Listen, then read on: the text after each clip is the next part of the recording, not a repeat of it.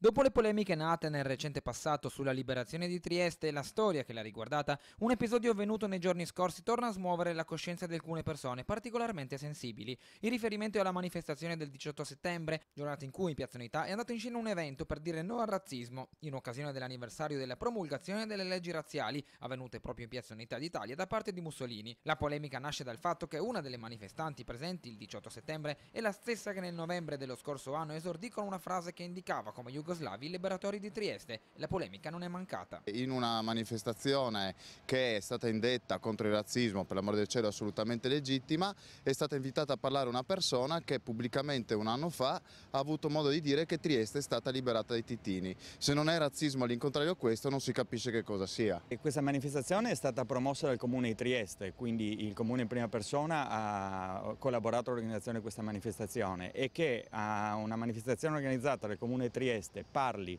una persona che inneggia al, ai titini mi sembra l'ennesima gaffe su questo argomento molto delicato e molto triste che va a offendere la memoria della città.